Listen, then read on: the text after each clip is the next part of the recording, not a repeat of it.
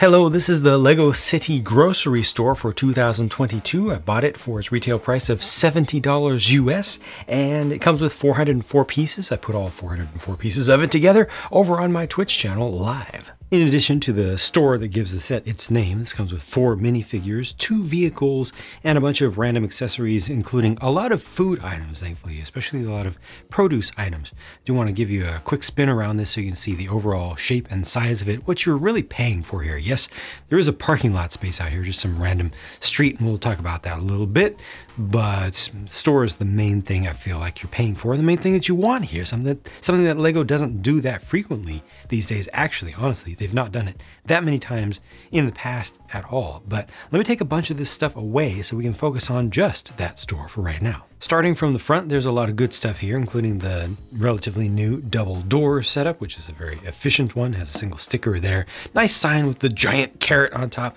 single sticker used up here, but I appreciate the continuation of the, the angled shapes that they've been using for a lot of city stuff most recently. This is a nice little display that they've set up, a little, little, little uh, turnstile thing with a couple of uh, buckets just kind of on a tree to represent these flowers that you can buy. These do fall out much too easily, I will say. You know, they're just a little bit precarious there. And then you have some, some produce in crates here, some miscellaneous produce, including two colors of apples. There's a banana down in there. Also a bundle of grapes, the ice cream cone piece they've used for grapes before in the purple color. And then a couple carrots over here and a couple of the new, brand new, and rather perfect. Look at that. Look at that corn cob. I love that. Bright green is the main color, dual molded with yellow. It is sized really well. It's sized better than most produce that they've ever made for minifigs and it's just it's just a really good piece. I hope to see a lot more of these in the future, and I expect them to do uh, because of the dual molding. I expect them to do some uh, some white corn at some point in the future as well. There are two ears of that. Also up above, you got some lights, plenty of windows around the place, and some solar panels up top. Around this side, you get into a little bit of curvature here. A little little. It's got that in the front as well. You can't see it as as well though, but uh, a little bit shades of the the downtown diner set. This, sorry about the focus there. This is a print, so that's good to have this available as a as a print again. And then parking lot space, yeah, just room for two things to be parked there. This is actually an entrance way for cargo to be pushed in. Uh, this is kind of like a, a little a little convenient conveyance, yeah. And these things really exist.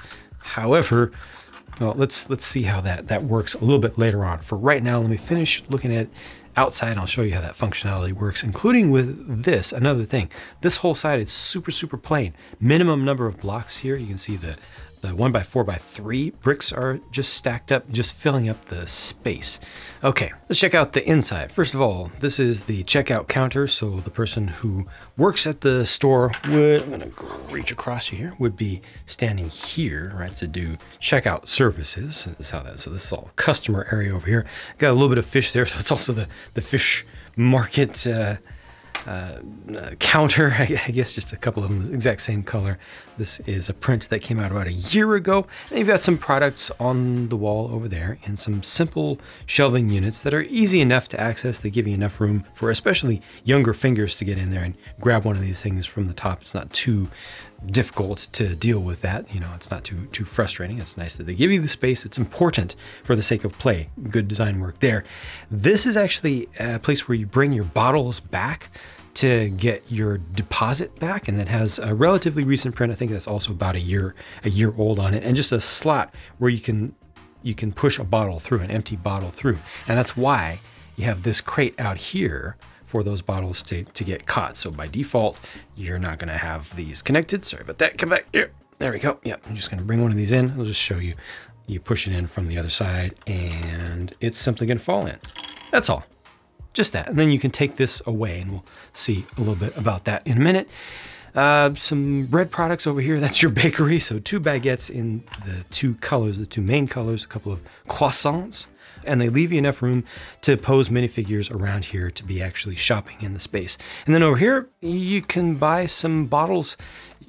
Well, bottles of, uh, of, of ginger ale and uh, and root beer. You know, right? That's that's definitely what would be in those bottles. And now is the appropriate time for me to show you how this over here works because there is a forklift in the set, and I'll show you that forklift up close in just a moment. But the forklift can bring in goods from the outside, delivered by whatever means. And unfortunately, I do have to be a little careful with this because it's. Uh, uh, uh, come on, let's go. Let's let's. There we go. Yeah, there we go. There we go. There we go. Oh oh oh. Is it is it gonna is it gonna? No, it's not. It's not. Uh, oh, wait. Oh, uh, uh, uh, uh, still a little bit stuck. See, it's it's imperfect. It's imperfect how it works, but that's the general idea. You deliver goods into the space, and then this can become some counter space as well. What are those supposed to be? The most giant tomatoes of all time? Or are they pomegranates? Or are they just some weird mutated pumpkins? I mean, they were used as lanterns in that color originally. But you notice there's a standard here. So all of these, these crates have a two by three. Each one has a, a two by three uh, plate on the bottom of it to make them compatible with this sliding space here and also compatible with the forklift. And that includes this one over here. So those are all interchangeable. It's all a little temporary little uh, kind of subsystem that they've come up with for now, at least for this one set. These also use that same system so they can all play together, but I don't know what else they would play with, unfortunately. Also included is this orange colored shopping cart. This is the same one that was first introduced in the Friends line. And here you have even more uh, produce. So another dark colored uh, medium nougat baguette, red apple, uh, banana, and some more grapes down there. This forklift, in my opinion, is pretty much the most perfect thing in the set. It's almost a perfect minifig scaled forklift just in general. I think it looks great. It felt good to put it together and it looks super realistic. This is this is just about peak construction and material handling stuff in Lego. It's almost peak vehicle design, I'd say, in, Le in Lego for minifig scaled, city styled stuff. It's so smooth, but again, the construction itself is very, very simple. They came up with this design for the, the fork system a long time ago. It's the second generation one. Formerly they used springs, but in modern generations they use this very, very tight rubber band, which unfortunately is just way too tight because if you accidentally slip your finger off of that, whatever is on top of this is just gonna fly. And it's gonna fly tall and fast and far. And that's a little bit unfortunate. You can angle this back, but it angles back quite a bit, which is a bit much. And yeah, just this part here does not work great. You are able to get this down to the ground. You can pick up things most of the time, but then it's going to be carrying the load always way up in the air, which is which is just a bit a bit much. You know, if you're driving along and then you stop with this thing, it kind of wants to tilt forward. So that's the one thing that still needs to be fixed, I think. This car is built on the same chassis, interestingly, as the forklift, and it is also just about perfectly minimized in size and yet perfectly functional. It has opening doors, you take the roof off easily to put a minifigure in there, it just has a single single seat, you know, single sitting position. But it's a car. You know, in the age of four and 10, excuse me, in the age of eight and 10 stud wide Speed Champions cars that can hold two figures. Well, look at this. Here's a four stud wide, four by six platform car that can hold one figure. That's not bad. The design is, it's cute, it's classic in a way, and it just works. They're trying to say it's an electric car because they put that one printed tile on the front. That's a sticker there. That's a sticker there, but hey, this thing totally works and I dig it. Looking at the first couple of figures, the one on the left is a named character. It's Mr. Produce himself. The printing for the torso is really good. The printing for the legs is unfortunate because it's just not opaque enough. I mean, look at that. You can see right through and it's just kind of weak. The, the top is fine though, and I like the design of it. On the right, you get the Peapod person with a sign that they carry around to, to promote, you know, buying fresh produce at the place. And there's something especially good about that figure better than usual. Take a look at the print. Look at that. Look at that print. That's very nice. Yeah, the orange could have been a little bit more opaque, definitely, but the graphic design there is very nice. Look at the back of this. No, uh, no alternate face, unfortunate. unfortunately, that is a miss. But the interesting thing about this figure is that she has a full printed torso underneath. And not only that, they also include in the set a hairpiece for her. So you take the costume off and she becomes just a regular person, a full, complete regular person, which is very good. I appreciate that. I also appreciate the first ever LEGO prosthetic leg official piece here on this figure that's dual molded in.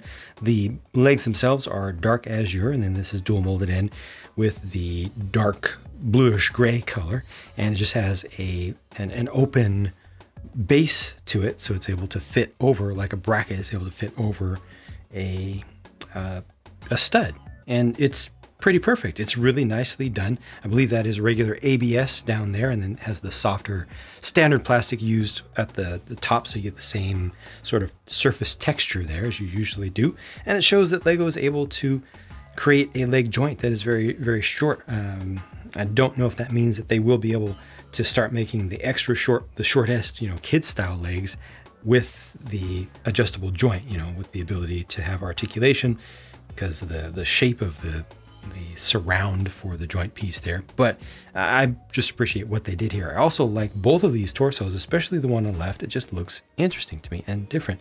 This is a printed piece over here with the, the notes. Looks pretty good.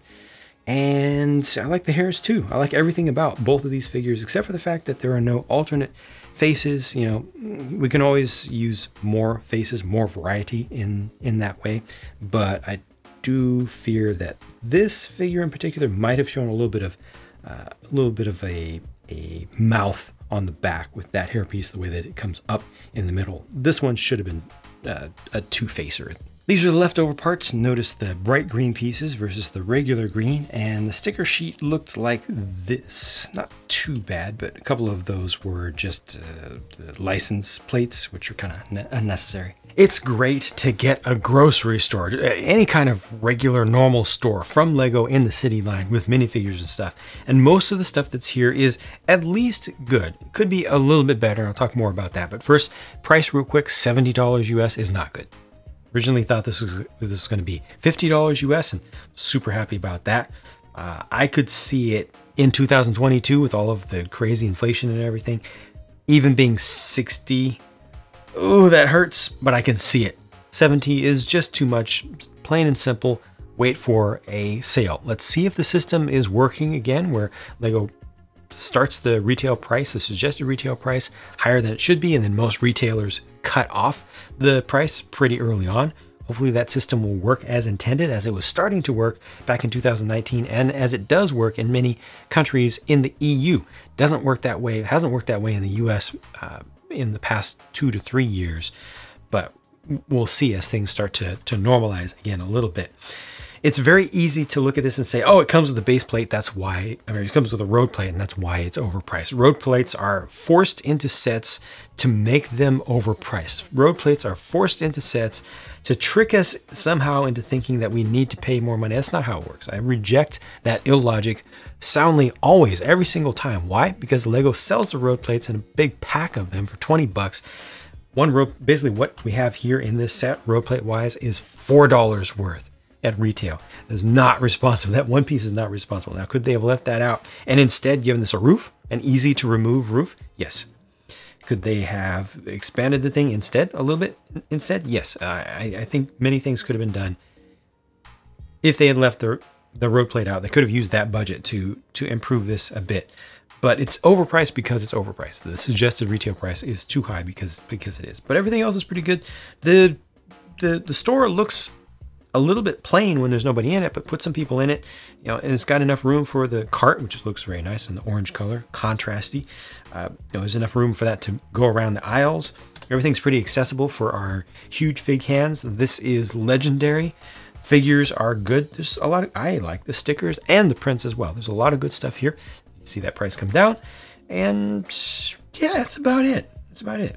Can use some modification if you like. Let me know your thoughts in the comments. Thank you for watching and I will talk to you again very soon.